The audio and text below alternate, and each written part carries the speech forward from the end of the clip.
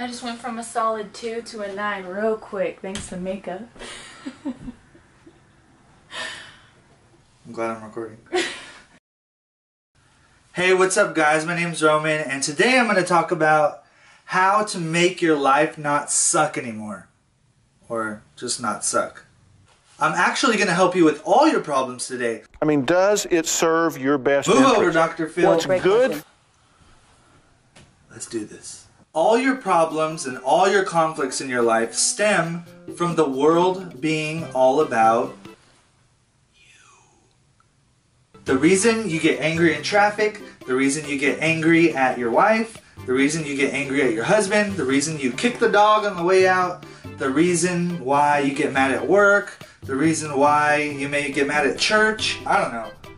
The reason why you get mad at all these people is because the world revolves around you. The reason you get angry in traffic, because the world revolves around you. Let me in! I'm trying to get in! Move over! The reason why there's conflict in your relationship is because the world is all about you. Your wife, your husband, whoever. They better be doing this, this, this, this, this, this, and this, or else I'm gonna be why are you in conflict at work? How dare they say that to you? How dare they treat you like that? How dare they not respect you?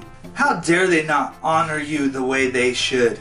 The more the world is about you, then the more you're going to be angry and tired all the time. And the more your life is not about you, then the more free you'll be. The more my life is about Jesus Christ when I get home, then the more patient we'll be with each other. I mean, think about it. Look how patient he is with us. The more merciful we'll be with each other, the more gracious, the more loving, the more we'll forgive each other. Overall, great experience. But if my marriage is not about Jesus and it's all about me, then it's all about expectations. When I get home, the dishes better be done, the clothes better be done, the house better be clean, the food better be done, or I'm gonna be mad. Now get to it.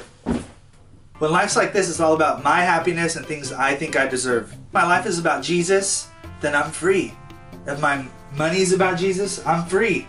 If my marriage is about Jesus, I'm free. At the end of the day, it's really hard for someone who's been told to die to themselves to be offended.